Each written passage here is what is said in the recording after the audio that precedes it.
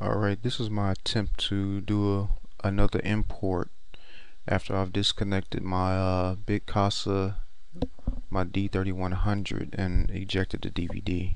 I'm going to see what happens.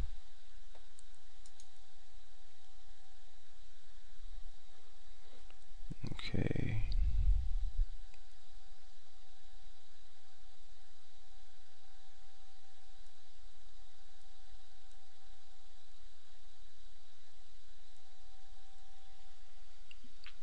Well, it looks like it didn't freeze up this time. Still showing a DVD. Oh, uh, it's a virtual DVD in there. Okay. Well, it didn't freeze up. I'm able to.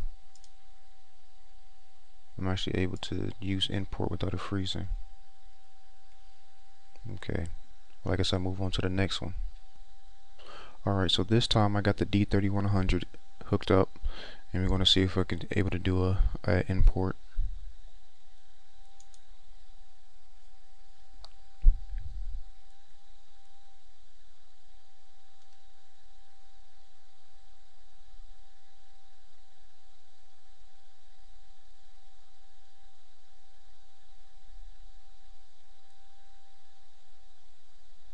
Alright, still running.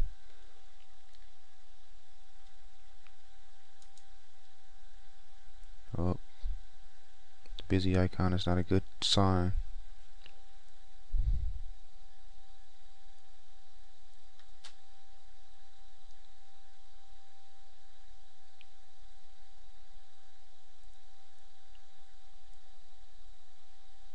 Okay.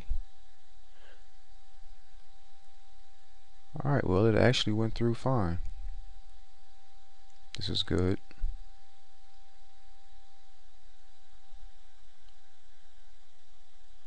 Alright, so this was successful with the D3100 only hooked up. I'm going to try with the DVD in next. Okay, this time I have the DVD in, in the drive. I'm going to do import.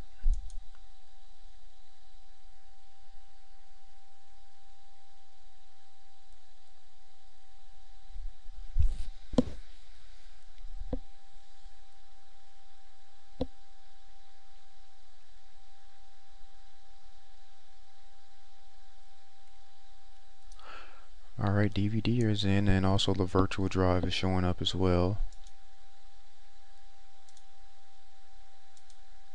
Um, no problems on import.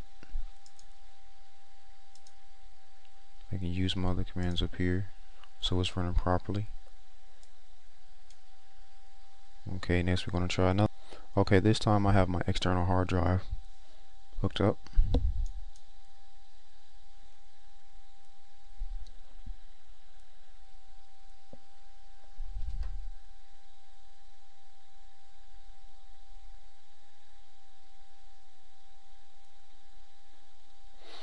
Okay, look like we went through just fine again. Okay, so this time I got my Bitcasa drive hooked up and I'm going to try import.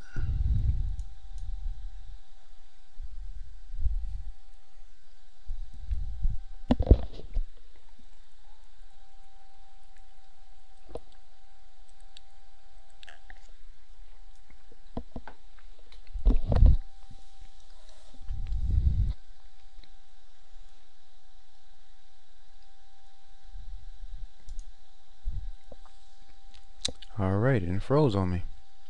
I think I may have found the culprit, but I'm going to test something else. I'm going to close it and restart it and, and hook up everything else but the Bitcasa and see what happens. Okay, so this time I have my Bitcasa drive disconnected. I have everything hooked up, all my other peripherals. I'm going to try import.